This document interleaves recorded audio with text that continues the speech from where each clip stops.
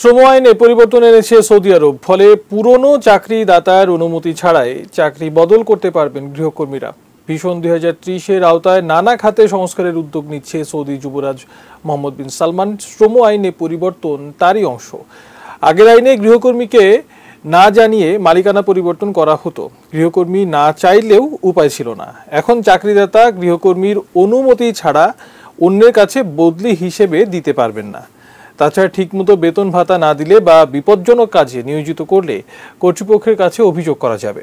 কর্মীর অনুমতি ছাড়া শিক্ষানবিশ কালে চাকরির চুক্তি বাতিল করা হলে কর্তৃপক্ষ নিয়োগকর্তার বিরুদ্ধে ব্যবস্থা নিতে পারবে।